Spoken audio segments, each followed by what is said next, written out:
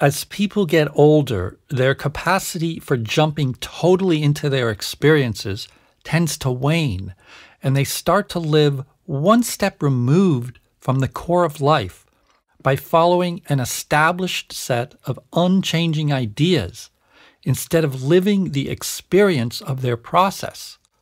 One place I've noticed this is in some singer songwriters as they age. Sometimes their voices improve, but oftentimes their lyrics don't come from their subconscious anymore, like they've lost the capacity to enter into the stream of their deeper experiences. The lyrics don't sound or feel like dreams anymore. They sound like someone thinking about something in a more literal way. What was once an excursion into the shadows of life the exposing of hidden truths, shifts to the already known conscious plane of awareness. The words sound like someone just having normal thoughts and making them rhyme. Whereas they used to create transformative dreamscapes with poetic power.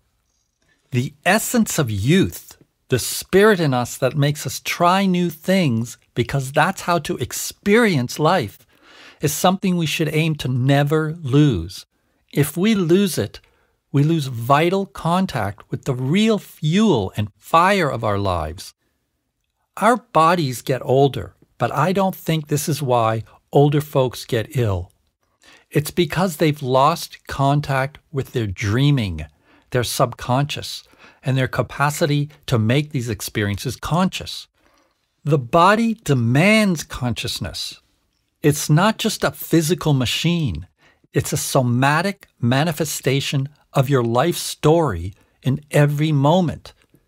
You're the metabolic expression of everything you experience. This is why it's so important to begin working on yourself as young as possible, because later on, your unprocessed experiences will catch up with you, guaranteed. I mean, you can always start, but I'm saying start now.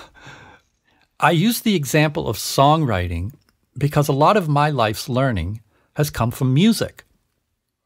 If I have any wisdom at all, and I'm not sure I do, I'd have to attribute it to two things processing and rock and roll. And as strange as it sounds, they're really the same thing.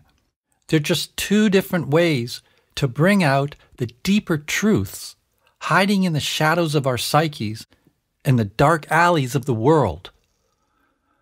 After a while of processing a problem, it's no longer what it was when I started.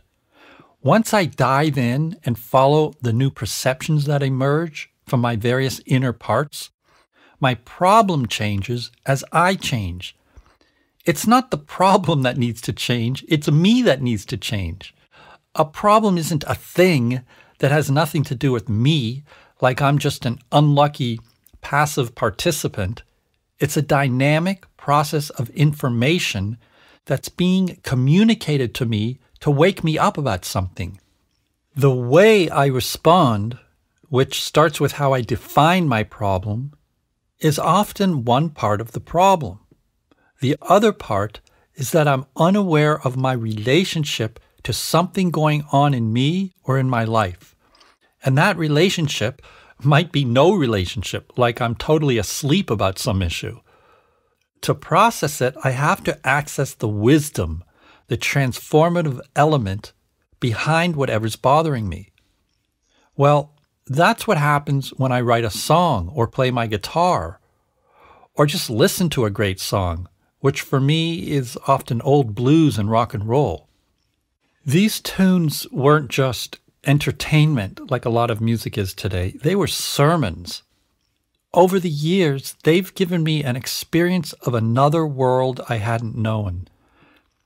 They took the ground out from under me and took me on a journey into everything that's unsaid, unknown, unfelt, disavowed.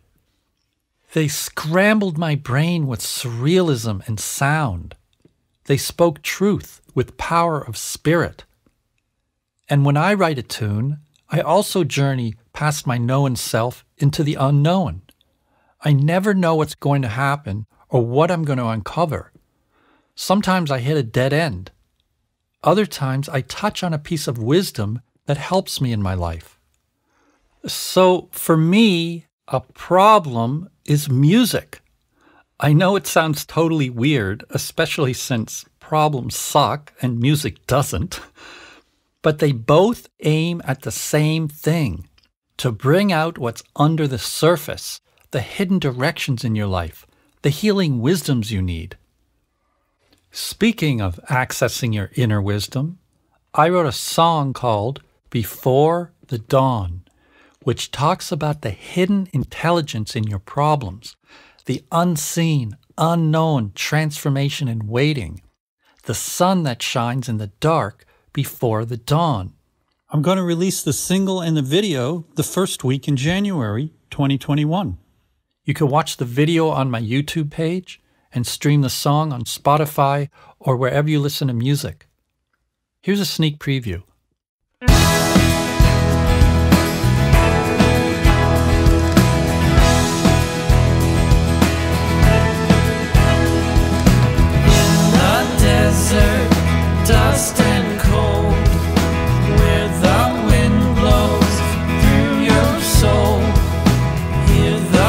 Voices,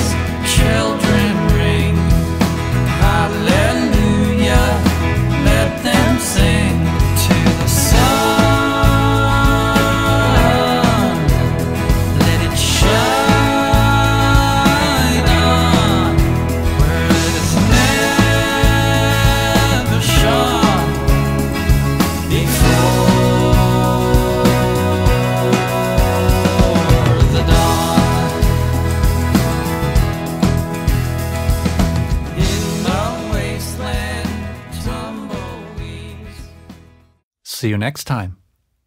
Stay aware. You can follow me on social media at Dr. Zwig, and you can sign up on the mailing list at drzwig.com, where you'll receive discounts on private coaching, events, and merchandise starting in 2021, weekly personal growth tips, and lots more. Be well.